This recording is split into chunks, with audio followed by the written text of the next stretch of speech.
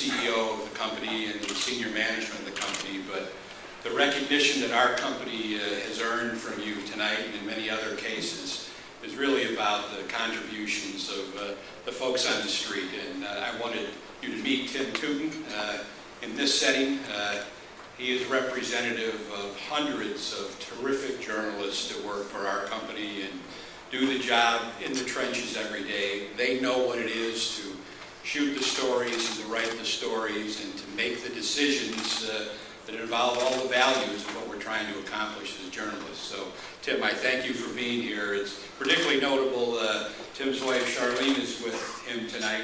This is their wedding anniversary, and uh, I guess I really.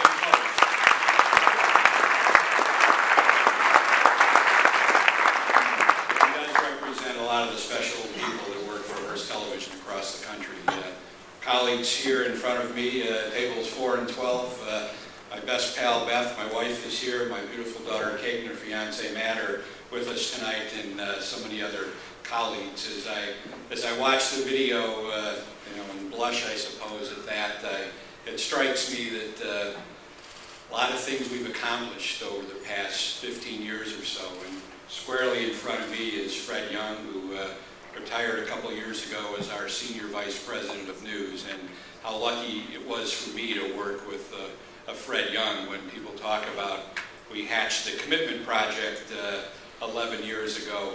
When you're sitting in a room with Fred Young and with Brian Bracco and Candy Altman and Barbara Bouchard and talking about what you can accomplish on the news side, uh, you got a real leg up. Uh, Fred has been a treasure for our company. Uh, I kept him working through 47 years, and uh, now we call on him uh, way more than his consulting agreement uh, accommodates.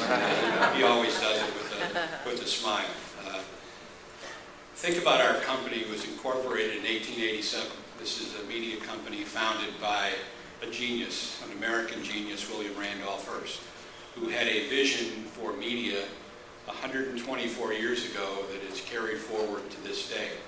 Over at the far table over here are two of William Randolph Hearst's great granddaughters who were part of a very supportive family. The management of the Hearst Corporation truly benefits from the support and the trust that the family places in us, and I'm delighted they could be with uh, us here tonight and uh, help celebrate the accomplishments of the company. Uh, I truly stand on the shoulders of the people who uh, are working in the trenches for us every single day.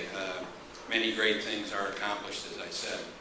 We've got 29 stations across the country. We do the news every day uh, in 25 of those markets. We've got some duopoly stations. Uh, I was curious uh, last night. I sent an email to the stations and said, tell me about the lead story in, in each of your markets on the 6 and the 11 o'clock news or the 6 and the 10. I knew what would be the case. The lead in every one of those markets was local.